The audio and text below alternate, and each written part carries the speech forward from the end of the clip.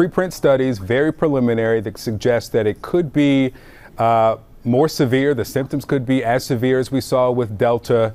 Um, how worried should people be? It's hard to continue to worry about each new variant. There's good news and bad news here.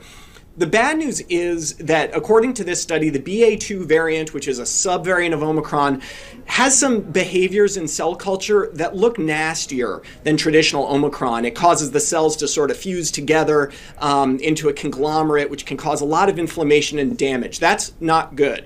Um, the good news is, though, we're not seeing much BA2 in the United States at all. Now, now in other parts of the world, it, it, it's there. It does seem to be more transmissible than BA1, the Omicron variant we're living with now. Why hasn't it taken over in the United States like Omicron did from Delta? It may be because there is just so much immunity in the US now between vaccines and now a big wave of infections that BA2 can't get a foothold. So I think it's too soon to be uh, to be uh, too worried about BA2. Let's see what the numbers do.